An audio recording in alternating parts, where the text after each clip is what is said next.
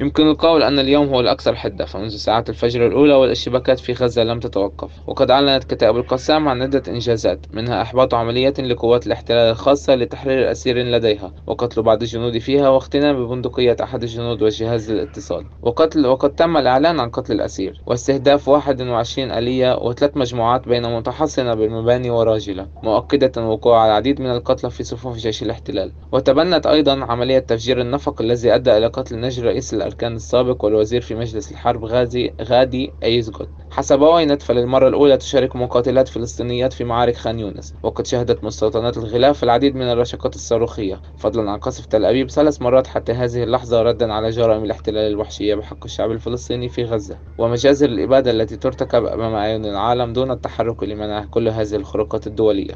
على صعيد جبهة الشمال فالرعب القادم من الشمال ما زال كابوسا يتمنى الاحتلال تغاضيه ولو على حساب فتح جبهة أخرى في العمق اللبناني. تشهد المناطق الجنوبية منذ أمس غارات هي الأولى من نوعها من حيث القوة وتستهدف طائرات الاحتلال المنازل السكنية غالبا. تبنت المقاومة الإسلامية حتى هذه اللحظة زمن عمليات إطلاق صواريخ ولا زالت الأجواء في جنوب لبنان تشتعل شيئا فشيئا. في مصير مجهول لهذه الحرب في ظل الحديث عن مهلة أمريكية تنتهي نهاية العام الجاري لانتهاء الحرب العديد من الفرضيات على الطاولة منها فتح إسرائيل لجبهة الشمال في العمق اللبناني لكسب المزيد من الوقت في غزة في محاولة من نتنياهو لتحقيق إنجاز يعد ثقة جمهوره به وإنقاذ نفسه من الموت السياسي.